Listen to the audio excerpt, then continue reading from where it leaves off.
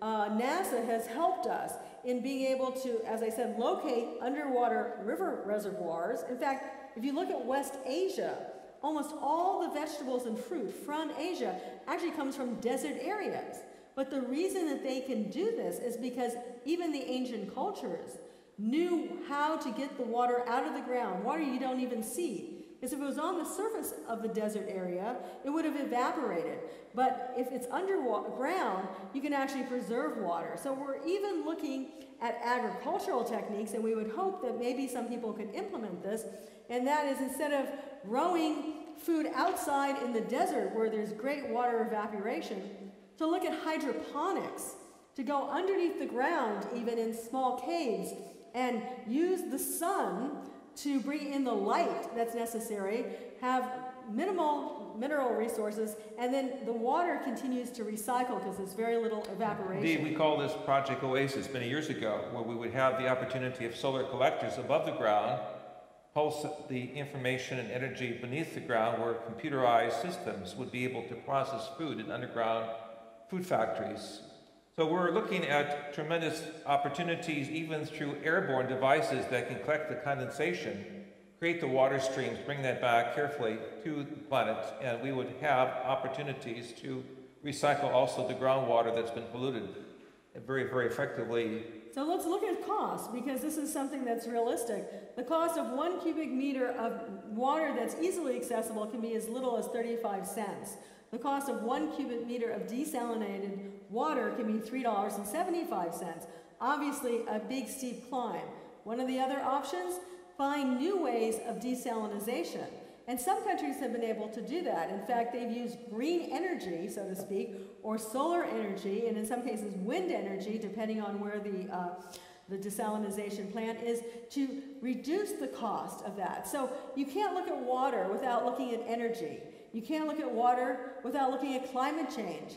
So all these factors have to enter into a unified holistic picture. Scientists have calculated the amount of water from the southern aquifers to be equivalent to the flow of 200 years of water in the Nile River area. And so Libya, with all of the fantastic opportunities it still has, has committed itself to a new process of a whole new area of water collection and water safety.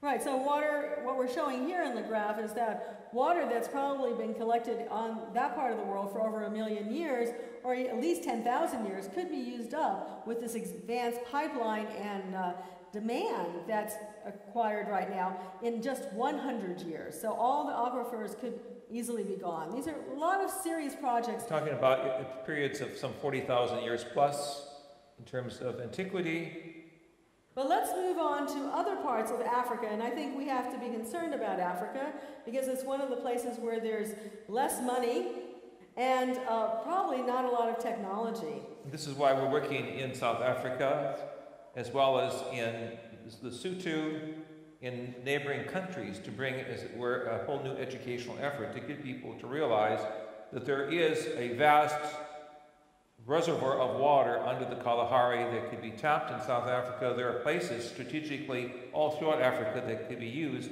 if we have the means and the perceptual direction to see a larger roadmap of new water resources. And the sad thing is that water will probably become a major cause of war conflicts, especially in the east. Now, one of the situations is we've always looked at oil. We feel many people have uh, felt that the last so many uh, decades has oil has been the cause of war, but in the future decades, very commonly it could be water as a source of war. For instance, Egypt has threatened war on any country that takes water from the Nile without its permission.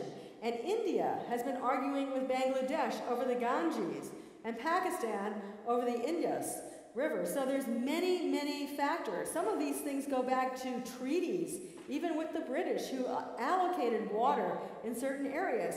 It's hard to come together when your people are starving or need water. And this is why we're having the celebration of the H2O, because we recognize that we all share really the water of life. We are all custodians and water keepers, particularly the women throughout the world who have the great compassion and the great connection with Mother Earth. And so it's the cry of Mother Earth, it is the veins of Mother Earth that we are opening now with the new processes of locating water resources, but also the harmonics, the music and psychology that goes with this, that gives us, as it were, a mental preparation for the new, shall we say, era of the water covenant. Right, and so none of these things have to take place. We don't need to be in water stress or even water scarcity anywhere in the world if we would use our new technology and use our hearts in making changes on the planet. And this includes even the United States.